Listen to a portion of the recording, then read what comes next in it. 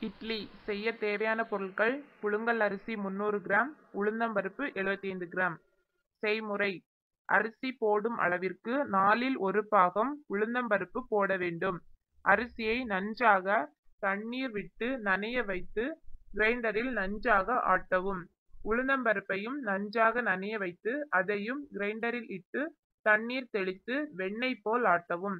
இரண்டு மாவுகளையும் உப்பு சேர்த்து கெட்டியாக பிசைந்து சுமார் மூன்று மணி நேரம் புளிக்க வைத்து இட்லி தட்டில் இட்டு வேக வைக்கவும். இட்லி மாவையே தோசைக்கும் உபயோகப்படுத்தலாம். தோசைக்கு அரிசியின் அளவில் மூன்றில் ஒரு பாகம் உளுந்தம்பருப்பு போட்டால் தோசை மிகவும் மிருதுவாக இருக்கும். இட்லிக்கும் உளுந்தம்பருப்பு புதிய பருப்பு என்றால் சற்று குறைத்து போட்டால் நல்லது.